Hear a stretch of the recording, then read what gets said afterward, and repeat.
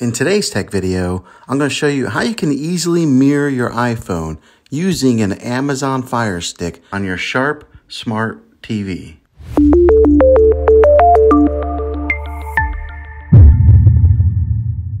Some of the newer TVs that are coming out have a built-in way of mirror your iPhone to the screen, but not all TVs have this capability. So two ways, that I'm going to show you how to mirror your iPhone will work on any model of TV and any year of TV. You just have to have an HDMI connection using a Amazon Fire Stick or any of the Amazon streaming devices. Here are the instructions on this. Okay, so here's a step-by-step -step instructions on how to mirror anything you got going on on your iPhone to your Fire TV right here, so or your Fire Stick. So well, the first thing we're going to want to do is go over to your magnifying glass over here, and then you're going to want to type in A Power Mirror. Okay, and it comes up right here, ApowerMirror, and you should get that icon that looks that's right there.